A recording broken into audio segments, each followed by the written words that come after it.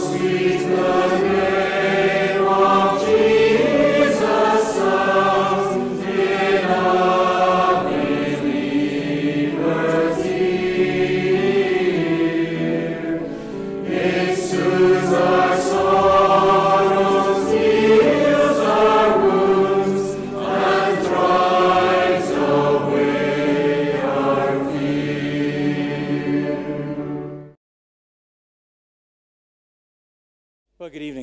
To our service uh, this evening here at the Tron. If you're visiting with us, then uh, you're very welcome indeed, and uh, we hope we'll have a chance after the formal part of the service to uh, meet, to greet one another, encourage one another in the Lord. There'll be uh, refreshments and so on at the front here and downstairs, and if you don't have to rush away, please do stay and uh, enjoy that time together. We're going to begin now, though, with singing, and uh, you'll find the words of the hymn at number 196 in these blue hymn books. Uh, praise to the Lord, the Almighty, the King of creation. O my soul, praise him, for he is your health and salvation. Number 196.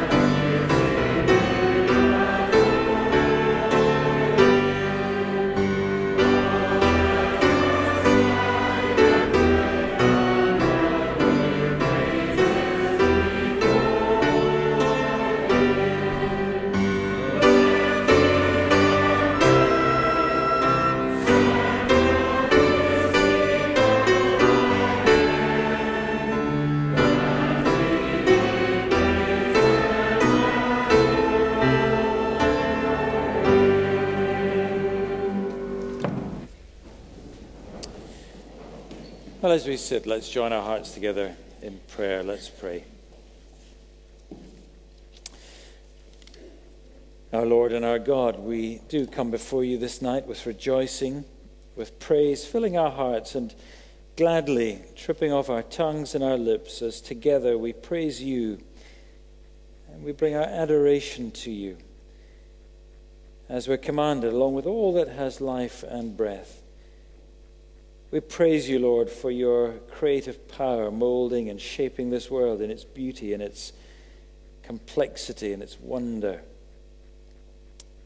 We praise you for your wonderful providential care over this whole universe, reigning mightily over all things that you've made, keeping us safe, sustaining this planet and every other, giving us life and breath, food and clothes, giving us so much that is full of joy and gladness, so much to rejoice in in this world that you've made for all mankind raining such blessing, such generosity, even on those who ignore you, even upon those who scorn and hate you. So great is your generous love. But Lord, we who know you, who know the wonder of your glorious gospel of redemption, we praise you above all for all that you have done for us when darkness and sin were abounding in our lives, you reached down and touched us. You broke forth as light. You scattered the terrors of night, the powers of darkness, and you rescued us from the bondage of sin, from the slavery that we were in, to sin and to death itself. You shone your light into our hearts and into our lives and you gave us a hope that will never disappoint, a hope that is sure and certain, hope of everlasting life shared with your Son, the Lord Jesus Christ, who even now has gone before us and shown the way. He is risen from the dead, never to die again. And we look to him and to his great return to bring us, to share with us that life that he has won for us. So, Lord, in the midst of a world of great uncertainties, in the midst of great frailty and weakness, some of us tonight very conscious of that in our own lives, often in the midst of mystery, many things that would confound us. What a, a, a, an encouragement, what a comfort it is to us to know that nothing can ever confound you and nothing can prevent your plan and purposes for our lives and for this world. So, Lord, we come together this evening from our many different places, many different backgrounds, many needs, different situations. But every one of us who knows you knows that we come to the one who knows us deeply, intimately, and has promised to guard us and to keep us to provide for us, to strengthen us, to help us, to walk with us every step of that road to your glory. So, Lord, draw near to us, we pray tonight, whether we come with hearts full of joy and singing and praise comes easily to us, or whether it's very different and we're conscious of a heaviness, a sadness, or perhaps great perplexity or anxiety things to face in this coming week, burdens that we bear for friends, for family, for loved ones, through illness, or just through worry about the life that they're leading or the life that they're not leading. Lord, you know our hearts as we come to you. And what a joy it is to know that although many private thoughts, private feelings, are represented here tonight, things perhaps that we could not tell to anyone else on this earth, that our hearts are open to you as we gather in your presence as your temple, the place where you have chosen to dwell and indeed delight to dwell. We can know that you are here and that you see us. You see deep into the darkest recesses of our hearts. And still you know us and you love us. And you promise to meet with us, to feed us, and to nourish us with your word of life and truth. So come to us, Lord, we pray. As we come to your open word, we thank you for its light and for its life. We pray that every one of us tonight would find that afresh in these your words. That you would send us away rejoicing, comforted, encouraged, strengthened, enabled for another week of serving you and loving you and following you with all of our heart and all of our soul. So help us, we pray. Help us as we sing, as we respond in prayer, as we listen to your word and afterwards as we encourage one another and seek to minister to one another, that we might better serve together our great God and Savior, the Lord Jesus Christ. So, Lord, hear our prayers, we ask. For we ask all these things in the name of our Lord Jesus Christ. Amen.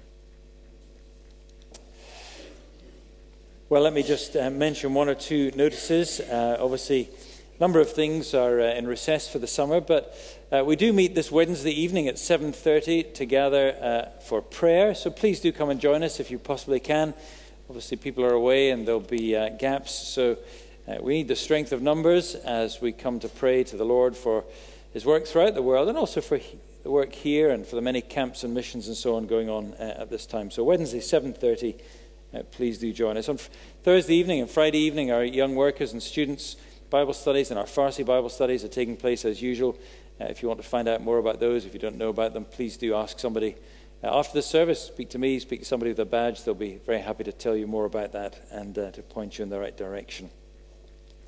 Well, we're going to uh, shortly read the scriptures, or at least Bob is going to come and read the scriptures for us. But before we do that, we're going to sing once again, and uh, it's number 737. O matchless beauty of our God, so ancient and so new, kindle in us your fire of love. Fall on us as the dew. Here's a, a song that Christians have been singing for, well, 1600 years and more. It's translated from uh, the words of Augustine of Hippo. So let's join our voices to those down the ages singing this beautiful hymn uh, about our Lord Jesus Christ. Number 737.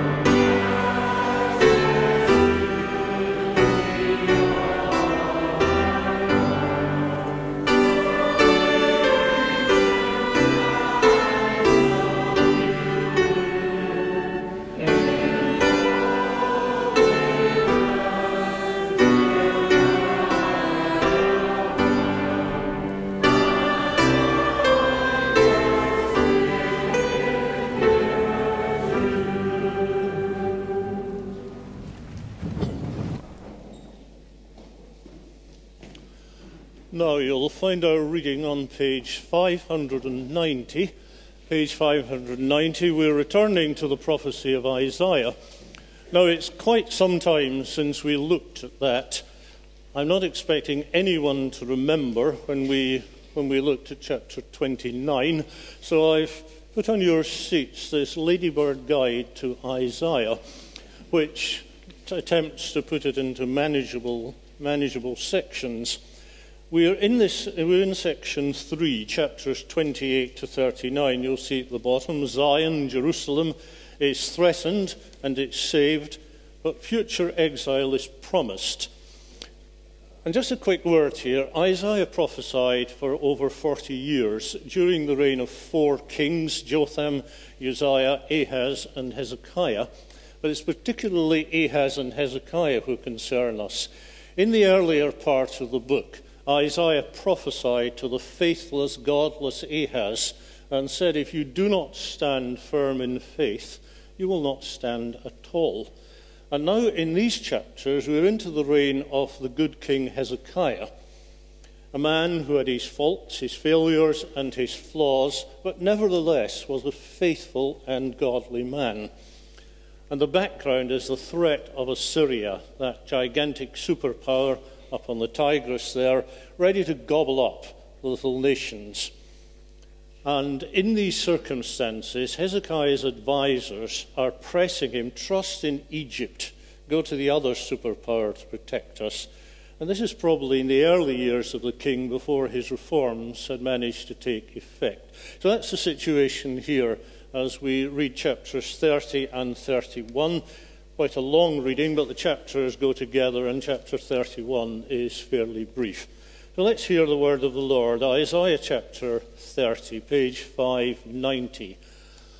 Ah, or perhaps better, woe, stubborn children, declares the Lord, who carry out a plan, but not mine, and who make alliance, but not of my spirit, that they may add sin to sin, who set out to go down to Egypt without asking for my direction to take refuge in the protection of Pharaoh, and to seek shelter in the shadow of Egypt. Therefore, shall the protection of Pharaoh turn to your shame, and the shelter in the shadow of Egypt to your humiliation. For though his officials are at Zoan and his envoys reach Hanes, everyone comes to shame through a people that cannot profit them, that brings neither help nor profit, but shame and disgrace an oracle on the beasts of the Negeb. Through a land of trouble and anguish, from where come the lioness and the lion, the adder and the flying fiery serpent. They carry riches on the backs of donkeys, and their treasures on the humps of camels, to a people that cannot profit them. Egypt's help is worthless and empty. Therefore I have called her Rahab, who sits still. And now, Go write it before them on a tablet and describe it in a book, that may be for the time to come as a witness forever. For they are rebellious people, lying children, children unwilling to hear the instruction of the Lord, who say to the seers, Do not see, and to the prophets, Do not prophesy to us what is right. Speak to us smooth things, prophesy illusions. Leave the way, turn aside from the path let us hear no more from the Holy One of Israel. Therefore, thus says the Holy One of Israel, because you despise this word, and trust in oppression and perverseness, and rely on them, therefore this iniquity shall be to you like a breach in a high wall, bulging out and about to collapse, whose breaking comes suddenly in an instant. And its breaking is like that of a potter's vessel that is smashed so ruthlessly among its fragments, not a shard is found from which to take fire from the hearth or to dip up water out of the cistern. For thus says the Lord God, the Holy One of Israel In returning and rest you shall be saved, in quietness and in trust shall be your strength. But you're unwilling, and you said, No, we will flee upon horses. Therefore, you shall flee away, and said, we will ride upon swift steeds. Therefore, your pursuers shall be swift. A thousand shall flee at the threat of one, At the threat of five you shall flee. To your left, like a flagstaff, a flagstaff on the top of a mountain, like a signal on a hill. Therefore the Lord waits to be gracious to you, and therefore he exalts himself to show mercy to you. For the Lord is a God of justice. Blessed are all those who wait for him. For a people shall dwell in Zion. In Jerusalem you shall weep no more. He will surely be gracious to you at the sound of your cry. As soon as he hears it, he answers you. And although the Lord give you the bread of adversity and the water of affliction, yet your teacher will not hide himself any more. But your eyes shall see your teachers, and your ears shall hear a word behind you saying, This is the way, walk in it. When you turn to the right, or when you turn to the left, then you will defile your carved idols overlaid with silver, and your gold plated metal images. You will scatter them as unclean things. You will say to them, Begone. And he will give rain for the seed with which you will sow the ground, and bread, the produce of the ground, which will be rich and plenteous. In that day your livestock will graze in large pastures, and the oxen and the donkeys that work the ground will eat seasoned fodder which has been winnowed with shovel and fork. And on every lofty mountain and every high hill there will be brooks running with water in the day of great slaughter when the towers fall. Moreover, the light of the moon will be as the light of the sun, and the light of the sun will be sevenfold as the light of seven days, in the day when the Lord binds up the brokenness of his people and heals the wounds inflicted by his blow. Behold, the name of the Lord comes from afar, burning with his anger and in thick rising smoke. His lips are full of fury, and his tongue is like a devouring fire. His breath is like an overflowing stream that reaches up to the neck to sift the nations with the sieve of, sieve of destruction and to place on the jaws of the peoples a bridle that leads astray. You shall have a song as in the night when a holy feast is kept, and gladness of heart, as when one sets out to the sound of the flute to go to the mountain of the Lord, to the rock of Israel. And the Lord will cause his majestic voice to be heard, and the descending blow of his arm to be seen in furious anger and a flame of devouring fire, with a cloudburst and storm and hailstones the Assyrians will be terror stricken at the voice of the Lord, when he strikes with his rod, and every stroke of the appointed staff that the Lord lays on them will be to the sound of tambourines and lyres. Battling with brandished arm, he will fight with them. For a burning place has long been prepared. Indeed, for the king it is made ready, its pyre made deep and wide, with fire and wood in abundance the breath of the Lord, like a stream of sulphur, kindles it. Woe to those who are down to Egypt for help and rely on horses, who trust in chariots because they are many, and in horsemen because they are very strong. But do not look to the Holy One of Israel or consult the Lord. And yet he is wise and brings disaster. He does not call back his words, but will arise against the house of the evildoers and against the helpers of those who work iniquity. The Egyptians are man and not God, and their horses are flesh and not spirit. When the Lord stretches out his hand, the helper will stumble, and he who is helped will fall, and they will all perish together. For thus the Lord said to me, As a lion or a young lion growls over his prey, and when a band of shepherds is called out against him, is not terrified by their shouting or daunted at their noise, so the Lord of hosts will come down to fight on Mount Zion and on its hill. Like birds hovering, so the Lord of hosts will protect Jerusalem. He will protect and deliver it. He will spare and rescue it. Turn to him from whom people have deeply revolted, O children of Israel. For in that day everyone shall cast away his idols of silver and his idols of gold, which your hands have sinfully made for you. And the Assyrian shall fall by a sword, not of man, and a sword not of man shall devour him. And he shall flee from the sword, and his young men shall be put to forced labour.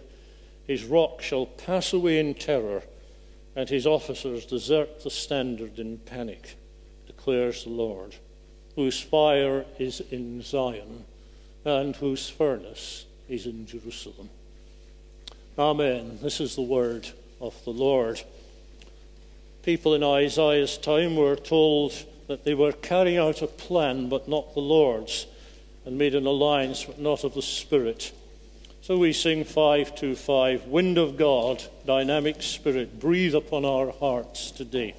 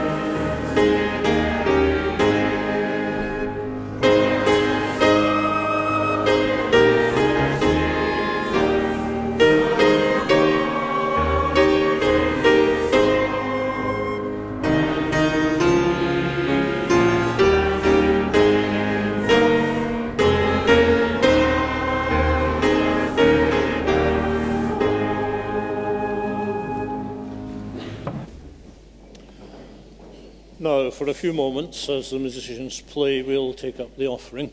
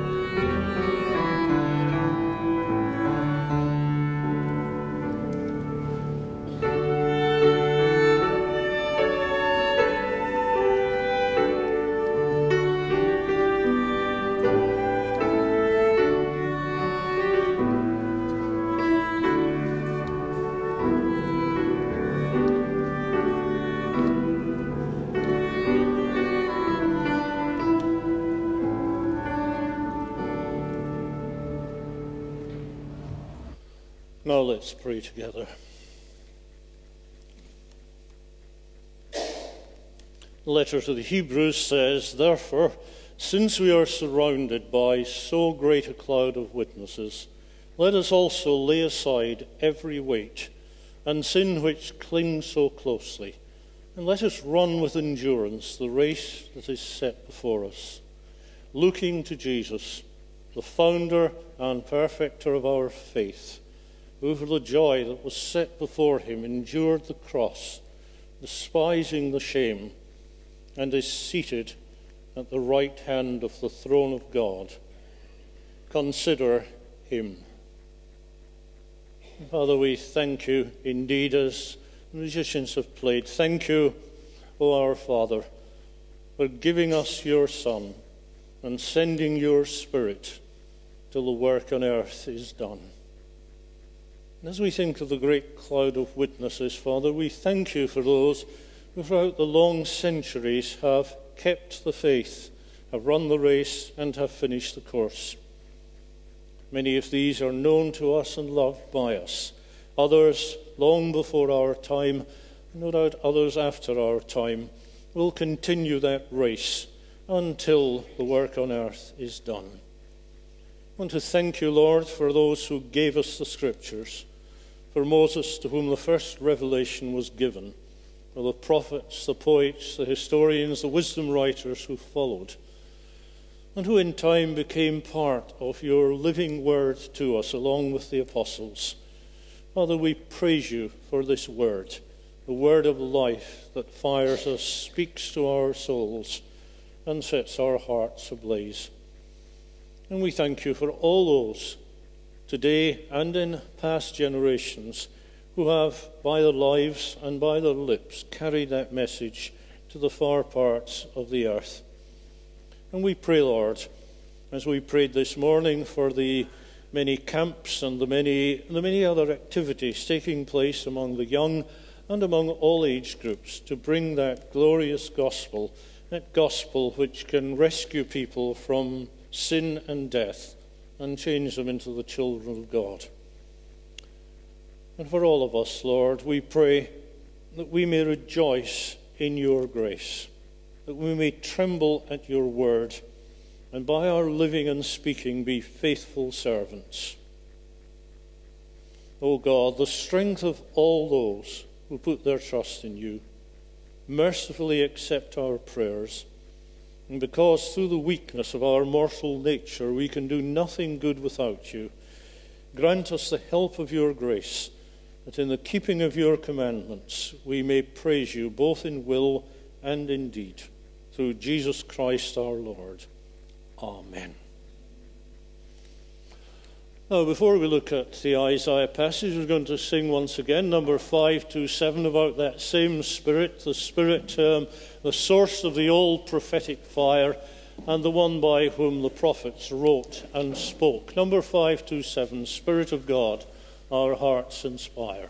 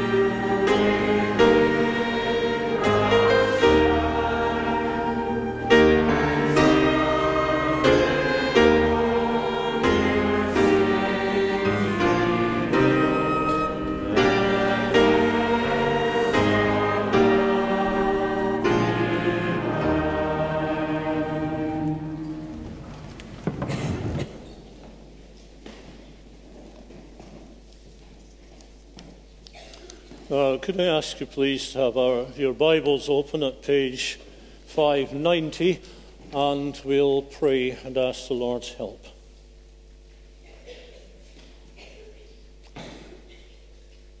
Father, indeed we pray that the Spirit of God, source of the old prophetic fire, who spoke through your servants, the prophets, and spoke through your servant Isaiah in the 8th century BC, will now use these same words to speak to us, because we believe that these were words not just for the prophet's time, but these were words for all time, for, for us upon whom the ends of the ages have come. We pray that there will be a, a light that shines in a dark place until the day dawn and the morning star rises. We ask this in the name of our Lord Jesus Christ. Amen.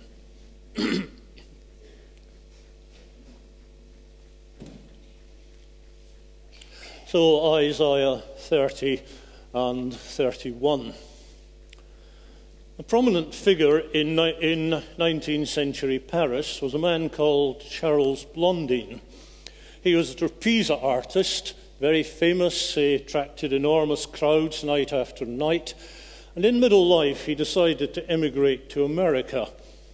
And one of his stunts there was to stretch a tightrope across the Niagara Falls and walk across it. That wasn't enough for Blondin. He pushed a wheelbarrow over it as well. And the story is told, although this is probably not true, that he once stopped in the middle of the tightrope and cooked an omelette on the wheelbarrow. If you, and as they say, if you believe that, Anyway, he used to invite people to sit in the wheelbarrow. Said, How many of you believe I can cross this safely? Oh, yes, of course. Well, who is going to sit in the barrow? He had very, very few takers. Now, trusting in the Lord is very different from trusting in a trapeze artist, obviously. Nevertheless, in all trust, in all faith, there is an element of risk. We don't know exactly what's going to happen. Indeed, the father of the faithful himself, Abraham, we are told, went out in faith, not knowing where he was going. And this is what these chapters are about. It's about the idea of trust, the idea of faith, which dominates. Um, who do we trust? and who deserves our trust. That's why the theme tonight is trust and obey. I think it's very important, actually. Trust is not primarily a feeling. There will be many times we don't feel faithful. There will be many times we find it hard to trust. Did I be very, very surprised if in this room and elsewhere this evening, many people are finding it very, very hard to have faith very, very hard to trust. And that's what obedience is so important. Obedience means risking when we don't feel like it. Obedience means obeying even if we think it will do us harm. That is the, that is the situation here in these chapters. We're in great danger, a world of great turmoil, who are we going to trust and whose word are we, are we going to obey? So that's the theme for this evening trust and obey. I want to ask two particular questions because there are two possibilities here trust in Egypt or trust in the Lord. So the first question is why is it wrong to trust in Egypt? And the second one is why is it right to trust in the Lord. So we have to ask the question who or what is Egypt? Now, at the time, obviously, as I said, it's a military state. No longer it had the enormous power it had had many centuries before, but it was still a very, very formidable power. And Hezekiah's, Hezekiah's counselors were saying, trust in Egypt, because Egypt will protect us from Assyria. Assyria, the great superpower, on the Tigris, capital Nineveh, which is actually on the site of the modern town of Mosul, which you've heard about a great deal in the news about the Islamic State and so on. Anyway, that makes sense. We're faced with a great bully. Let's bring in a bigger bully. If the playground bully is going to attack you, let's get a bigger bully to attack him. Now, Egypt here is what the New Testament calls the world. John says, Do not love the world, do not trust in the world. Paul, at the end of his life, um, laments that Demas has forsaken him because he loved the world. Now, we must be clear what this means. What is the world? Now, in my youth, this was seen purely in external terms, and some of you would have been brought up this way as well. Concerned with what we ate and drank, concerned with leisure time, concerned with um, whether we engaged in worldly activities. Sport was not to be countenanced. Theatre, music, all the kind of things that so enrich life were frowned on and they were called the world. Now, of course, it's true. Any of these can be a temptation. Anything can be a temptation and take us away from the Lord. But we must avoid that kind of fanaticism. Otherwise, our faith will simply depend on externals, which can be, which can be seen and which can be touched. The world, sometimes called Egypt, sometimes called Babylon, sometimes called Sodom, is the anti God spirit that finds its whole meaning, its whole purpose in the present day, in what can be seen, what can be touched, what can be tasted. Well, that's the situation then. Now, sometimes when you're trying to work out what something is, it's quite a good idea to decide what it's not, because that's, that helps to be more precise. Why is it wrong to trust Egypt? Now, we must avoid fanaticism. God can and often does do wonderful things. But God more normally works through means. And to say we're going to trust in the Lord doesn't mean, for example, if you have money to buy food, that you expect manna from heaven. That's not going to happen. If you are ill, it doesn't mean you don't have to go and see a doctor.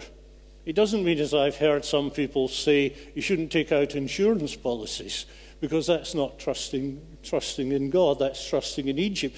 The point is, you can see all these things as good provision for God for our lives on earth. Oh, of course, if they are, if we, if we idolize them, if we see them as things on which we must depend, then they become wrong. The story is told, doubtlessly apocryphal, of a man who was, who was drowning. And he is a Christian man. He prayed to the Lord, the Lord would save him. That moment, a strong swimmer passed and offered to help. Oh, no, no, no, no, I don't need you. The Lord will provide. Then a boat passed, same response, the Lord will provide. Then a helicopter, same response, the Lord will provide. No doubt he thought, I can't trust in Egypt. The inevitable happened, he was drowned. When he met the Lord, the apocryphal story goes, he says to the Lord, Why didn't you rescue me from drowning? And the Lord said, I tried three times, and you wouldn't accept the help. So trusting in Egypt is not being fanatical and turning aside the gifts that God sends us. So, what is trusting in Egypt and why is it so wrong? Well, you see, first of all, trusting in Egypt means a denial that God has saved us. Going back to Egypt is actually turning our back on, on our salvation, what C.S. Lewis called the pilgrim's regress, going back to the land that God took them out of. And in, this, and in the book of Numbers, particularly, we read these stories the murmuring and the complaining stories. Let's go back to Egypt. Egypt was far more comfortable. Egypt was far more luxurious than this. And so let's go back. That was the. Uh, it's expressed in that, those of you who were here this morning, we sang Psalm 95. And Psalm 95 is specifically about that. Today, if you hear his voice, do not harden your hearts. Don't, don't go back to Egypt. Don't, go, don't deny that Jesus saves us. You see the Negeb, of oh, verse 6, an oracle on the beasts of the Negeb, the barren land where the, the territory around the Dead Sea slopes down to the Sinai Peninsula. What does it mean for us to go back to Egypt as the Israelites did? For them, it was literal. For us, it means essentially denying God's power to save and God's power to keep. Can God provide a table in the desert? It's equivalent to denying that. Now, some time ago, a notorious case of the minister in Edinburgh specifically denying that Christ died for our sins. And not only, not only saying that in his own church, but putting it on YouTube so that others could share that, um, could share that message. You see, the point is, Christ died for our sins is a totally unambiguous phrase. There are many difficult phrases in the Bible. That's not one of them. Christ died for our sins is the very essence, the very heart of our salvation. None of us would want to go along with that view. Aren't we often tempted to go back to Egypt ourselves? Look at chapter 31. Woe to those rely on horses, trust in chariots and in horsemen, but do not look to the Holy One of Israel. Now, chariots and horses in, in the Old Testament are symbols of power and of strength just as we, we looked at last, last Sunday morning in Deuteronomy. Moses says the king is not to build up horses and chariots, not to, not to rely on these. When we decide, or when we imagine, that what we do for the Lord is more important than what he has done for us, when we rely on numbers, on buildings, on abilities, all of these God's gifts, then we are in danger of going back to Egypt. God's gifts are gifts given to us so that we can live effectively in this world, given to us so that the church can be built up and God's people blessed. But they become deadly if we trust in them. Because if we trust in these, we're in effect denying grace, are we not? We are saved by grace through faith. I've often said it before that while evangelicals insist that we are saved by grace, we believe, in fact, that we are sanctified by works. Not that our works don't matter, of course, but these works are works of grace. They're not works that earn grace. That's the point. So that's the first thing then. To go back to Egypt and why it's wrong to trust in Egypt is because when we trust in Egypt, we deny our salvation. Secondly, it's wrong to trust in Egypt because Egypt is ineffective. If you look at back again at chapter 30, this mysterious little passage, as it seems, 6 to 7, the oracle on the beasts of the Negeb, the Negeb, that, say once again, that barren area south of the Dead Sea, the scene of many of Abraham's wanderings. And it's talking about sending envoys to Egypt. Back in chapter 4, his officials are at Zoan, his envoys reach Hanes.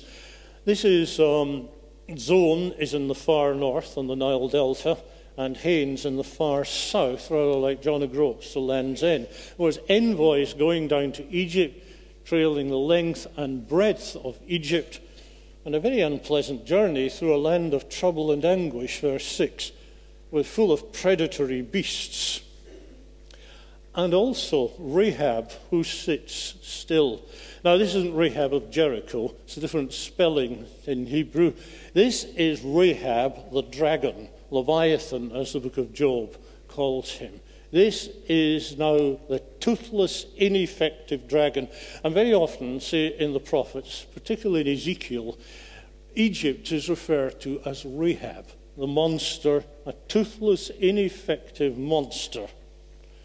All this hard effort, all this long and painful journey through the Negev, and then from the north to the south of Egypt to achieve nothing. Rahab who sits still, Rahab, Rahab who does nothing, ineffective. And when we try to do, use worldly methods to do God's work, that's what happens. I'm not talking about differences of style and techniques. Over the generations, these always change as we try to reach the world, the people of our time. What I'm talking about is the kind of the kind of attitude that because the world is changing, the church has to change. And we've seen so much of that. And the kind of, you know, the kind of absolute nonsense that talked. Virtual church, we are told. People live on the internet now, so the church has to live on the internet as well. You heard it suggested you have virtual baptisms and virtual Lord's Supper. I have no idea how that could happen, but then I'm no computer buff. Perhaps someone would be able to simulate that kind of thing. You see, when we start talking that way, because the world has changed, the church must change as, as well. We are denying the Spirit. That's why the passage begins stubborn children who carry out a plan, but not mine, will make an alliance, but not of my Spirit. Egypt is a denial of salvation. Egypt is ineffective. And thirdly, Egypt is temporary. Chapter 31, verse 3. The Egyptians are man and not God. Their horses are flesh and not spirit. Now, flesh is not evil in the Bible. Flesh is fallen, of course, and needs redemption. The point is, flesh is perishable. That is the point.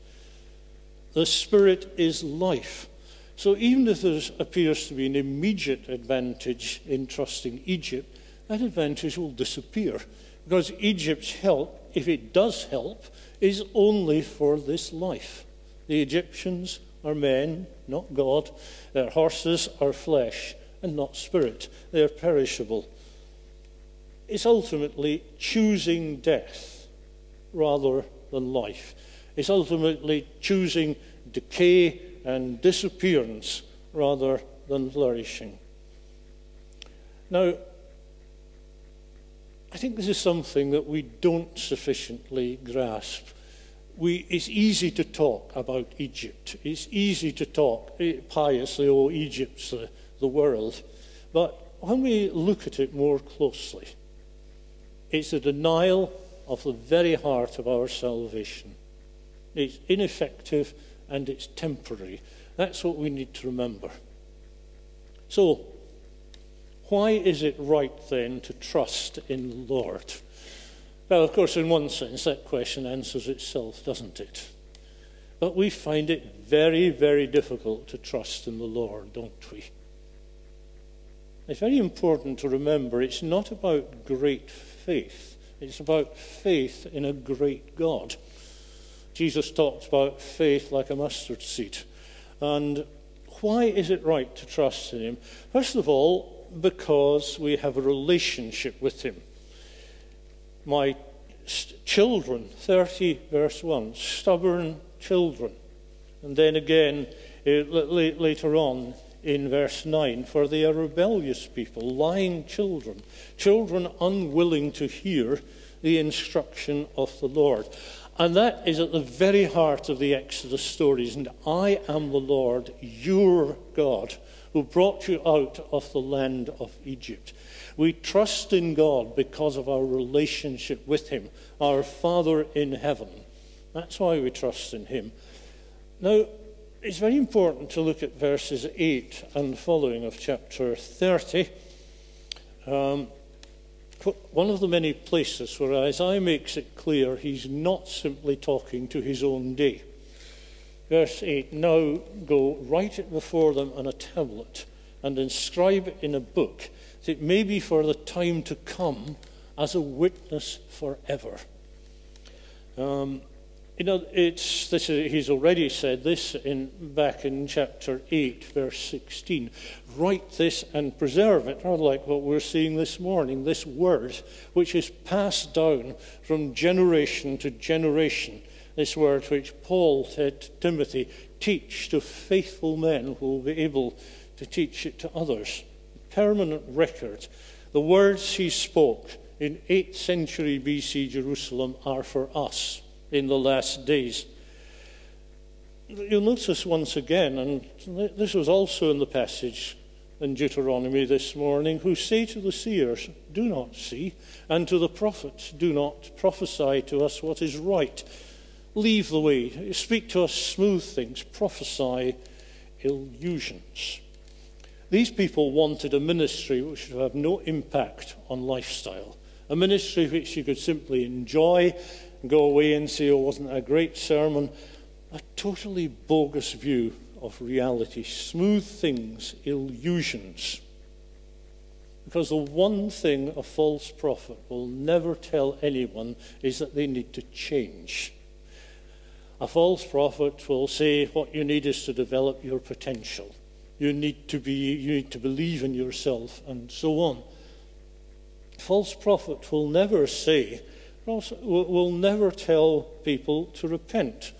Will not preach repentance towards God and faith in the Lord Jesus Christ. He'll say things that people want to hear. And that that's a daily, that's a daily temptation for those who preach or bring the word of God to say things that people want to hear. It's much more pleasant, after all. Give yourself an easier life if you say things that people want to hear. Now, on the other hand, this does not mean that you recognize a true prophet because they're aggressive and brusque and always beating people with a stick.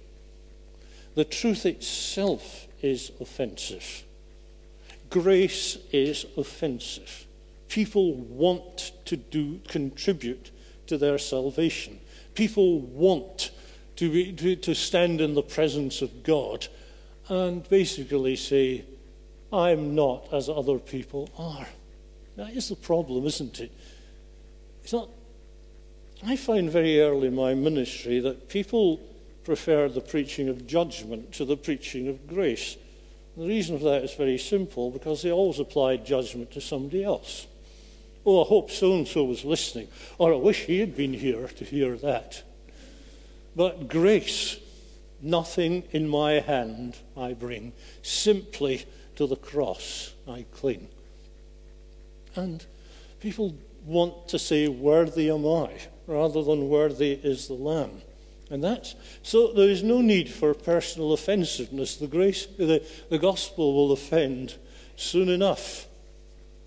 And this word, the word is available, but we need to obey it. We have the privilege of God revealing Himself uh, to communities, to individuals through His word.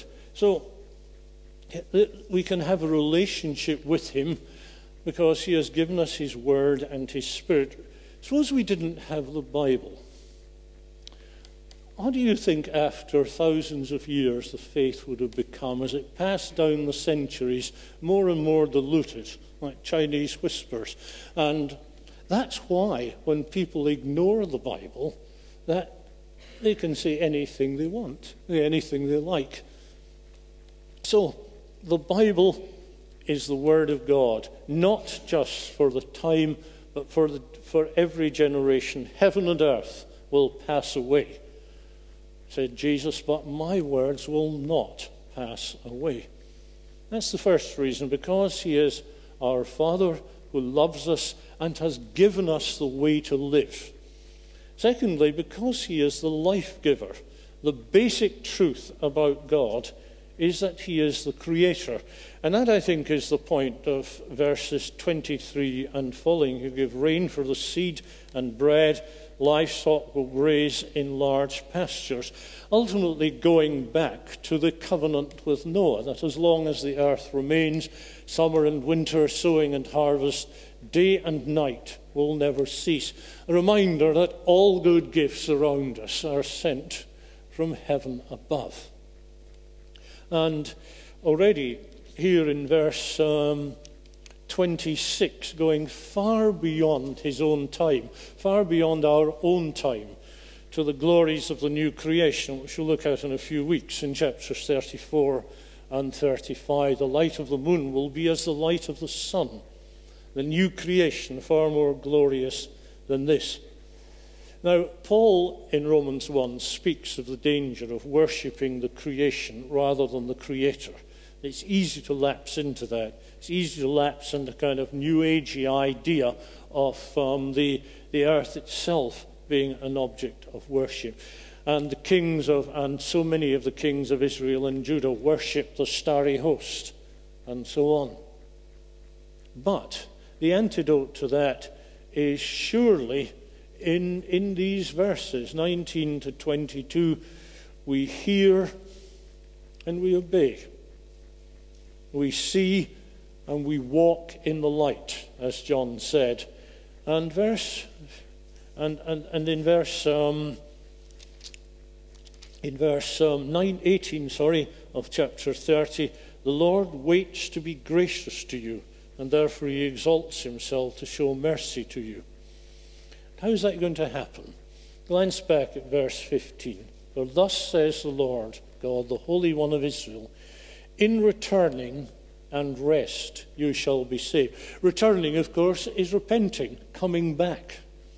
And trust shall be in quietness and in trust shall be your strength. We're not ultimately saved by our activism. We're ultimately saved by the action of God in Christ. That's the point. So we trust in Him because He is our Father. We trust in Him because He is the life giver. And we trust in Him finally because He is the judge to whom each of us will have to give account.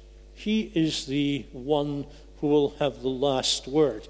See, the end of both chapters, chapter 30 and 31, speak of the destruction of Assyria. The immediate context, of course, is the destruction of the Assyrian army before Jerusalem. It's also the last day. In verse 33, for a burning place has long been prepared indeed for the king.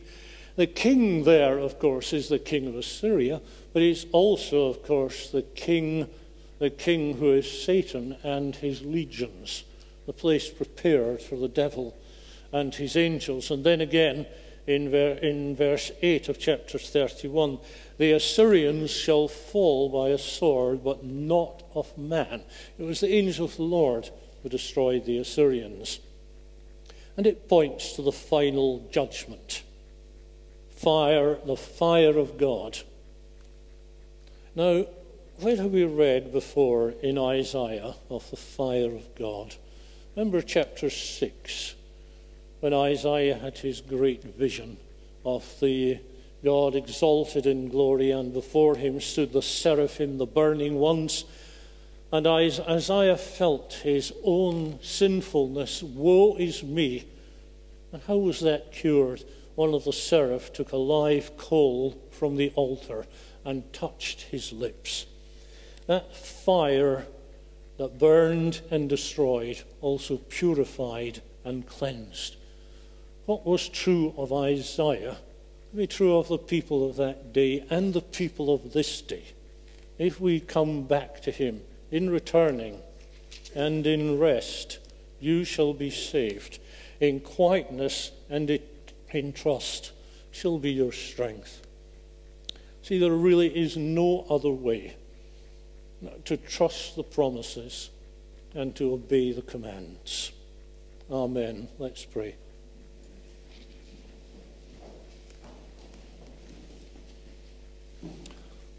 Father, we are so prone to go down to Egypt for help. We're so prone to trust in our own abilities, and we are so prone not to trust in your great power and in your great love. Oh, help us day by day to return to you, the maker of our souls, our Father in heaven, the one who loves us, the one who sent his Son, who gave, gave himself for us, and the one who sent his Spirit to make that real in our hearts and lives. This is our prayer this evening, our Father. Amen.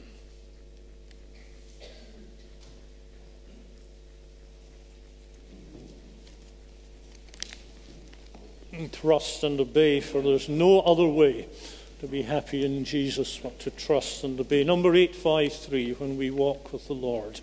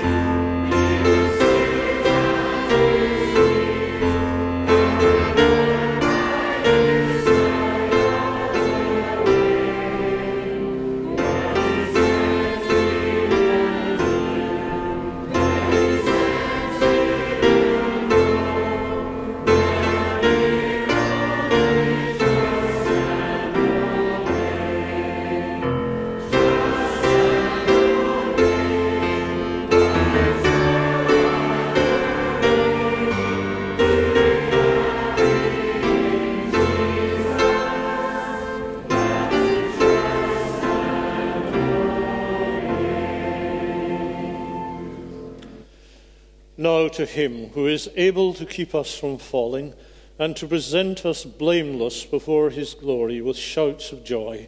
To only God our Saviour be glory, majesty, dominion, and authority. May he walk with us through all our lives and bring us in the light of grace to the light of glory. Amen.